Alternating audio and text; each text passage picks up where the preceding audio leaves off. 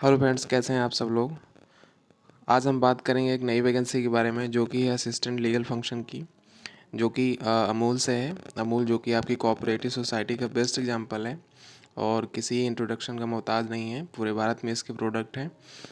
Annual turnover इसका काफ़ी ज़्यादा है और साथ ही साथ, अगर भारत में श्वेत क्रांति का नींव किसी ने रखी है तो वो है अमूल। गुजरात से शुरू किया गया था ये। और 1946 में इसका इस्टेब्लिशमेंट हुआ था। तो यहाँ से इस वैकेंसी के बारे में पता चला है तो आपको भी बता देते हैं। देखिए, इसके लिए आपके इसकी ऑफिशियल वेबसाइट www.amul.com पे जाना होगा, जहाँ से आप इसके करियर सेक्शन को विज़िट करेंगे, वहाँ से आपको जॉब वाले सेक्शन पे आप देख सकते हैं असिस्टेंट लीगल फ़ंक्शन तो इस पेज पे जाने के बाद आपको वहाँ से अप्लाई करना होगा ऑनलाइन ही। तो चलिए अदर डिटेल्स को देख लेते हैं। देखिए, जो पोस्ट का नाम है, वो हम पहले भी आपको बता चुके हैं असिस्टेंट लीगल फ़ंक्शन और इसमें आपको जो एक्सपीरियंस है, वो दो से छः साल के बीच में होना चाहिए। आपकी जो सैलरी होने वाली है, वो सिक्स लैख से सेवन लैक्स पर एनम के बीच में रहेगी।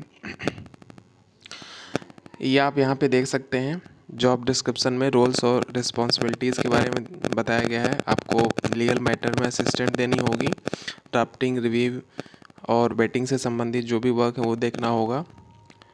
फॉलो विथ लॉयर्स जिनका भी पैनल होता है वहाँ पे पेंडिंग केसेस आपको देखने होंगे।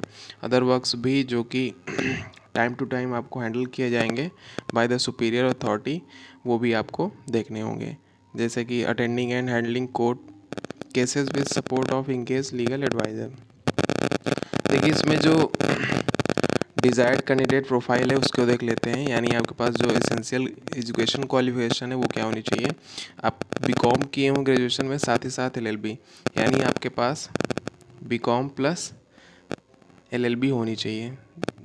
जनरली ये अंडरस्टूड है कि ग्रेजुएशन यानी बी कॉम करने के बाद थ्री ईयर ही एलएलबी लोग करेंगे। उसके बाद एक्सपीरियंस जो है वो दो से छः साल के बीच में एक्सपीरियंस होना चाहिए लीगल मैटर्स का आपका। साथ ही साथ आपके पास बेसिक नॉलेज होनी चाहिए।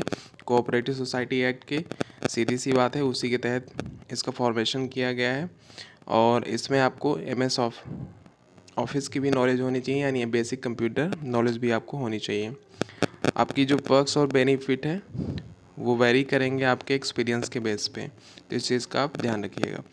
की स्किल्स में आपको दिया है। ड्राफ्टिंग हो गया ओपिनियंस हो गया legal advice court cases litigations vetting agreement trademark legal administration contracts ये कंपनी के बारे में दिया है, जो कि आपको बताने की ज़रूरत नहीं कंपनी की प्रोफ़ाइल इसको आप देख सकते हैं यहाँ से। तो एक अच्छी अपॉर्चुनिटी है, आपको मिस नहीं करना चाहिए, अगर आप एलिजिबल हैं इस पोस्ट के लिए तो ज़रूर अप्लाई करें। मिलते हैं नेक्स्ट वैकेंसी में, तब तक के लिए, नमस्कार।